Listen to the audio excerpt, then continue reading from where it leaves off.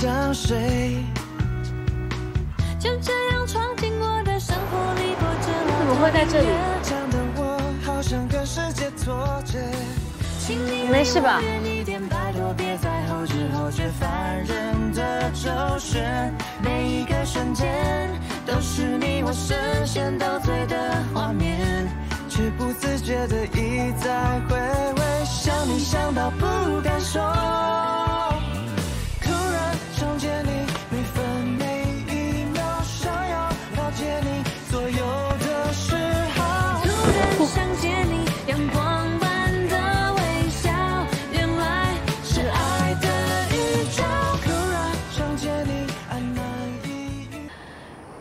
是你抱我，怎么反而是你看起来比较害羞啊？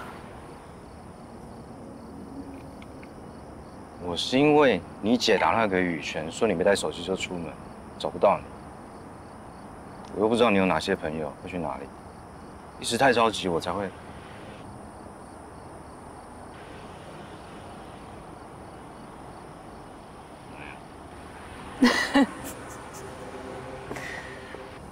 你还笑得出来？一个女孩子这么晚在外面有多危险？上次你喝醉被当了摩铁的事都忘了吗？你说的对，我上次就是太不小心了，结果还被偷拍了不雅影片。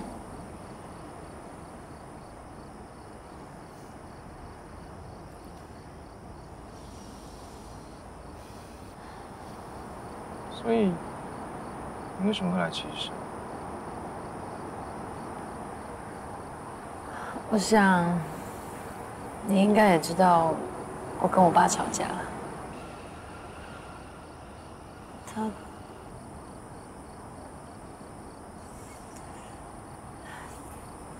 他打了我。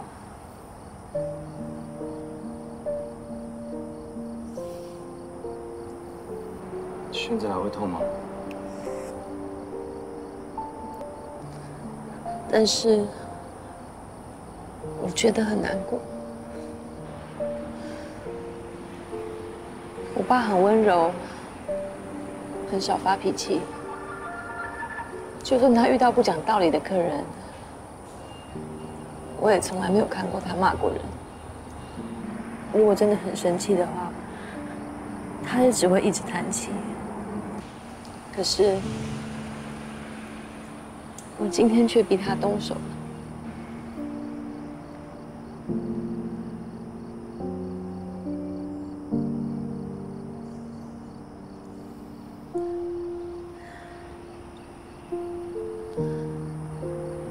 你问我为什么会来奇异社？因为我不知道我这样的坚持到底应不应该。我是不是太固执，太不体贴？太过分了！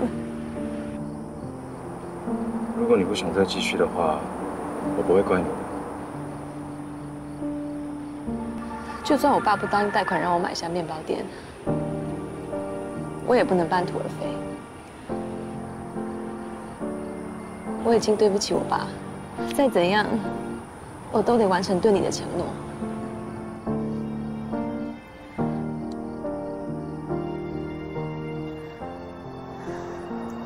现在支持我继续下去的理由，就是你对你爷爷的那份心愿。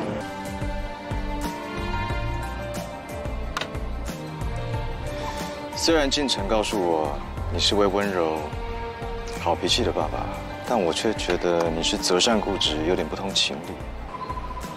坚持对的事情，就算是固执，也没有错。我错的是看走了眼。亏你是个执行长，做事做了这么的胡闹，这我不同意。我在执行我的目标，怎么会是胡闹？我可是很认真。谎话连篇，带坏了进程，还觉得自己没错。为了达到目的，有时候确实没办法尽如人意。强词夺理，骗人就是不对，骗自己亲人更可恶。做大事不拘小节，结果才是最重要的。你所谓的做大事啊，不过就是逃避相亲，让老人家伤心。我认为的大事，在你的眼中是件小事，这就是本位主义过剩的自以为是。骗人不认错，还批评我自以为是，你的是非观念呢？我刚刚说过，是立场不一样，请你客观一点。这不是主观客观的问题，这是做人的原则。退一步来讲，就算你有你的立场，再怎么样，你也不应该拐我女儿跟着你去骗人。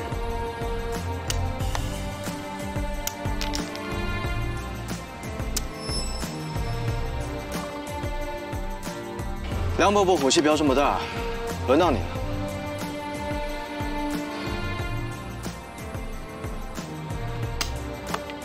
将军，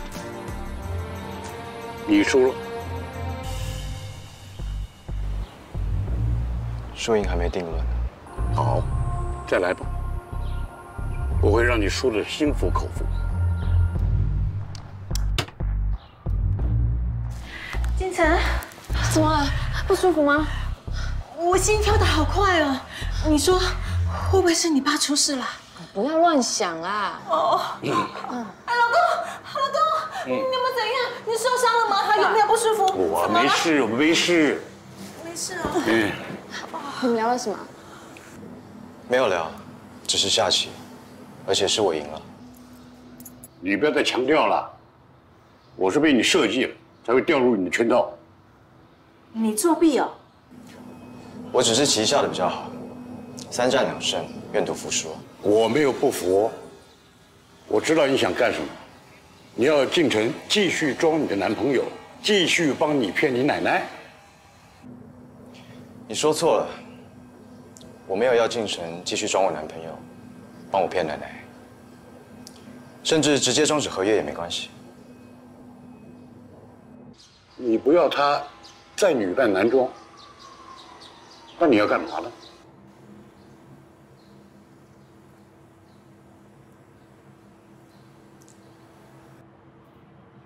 我想要你答应贷款，帮进城买下这间店。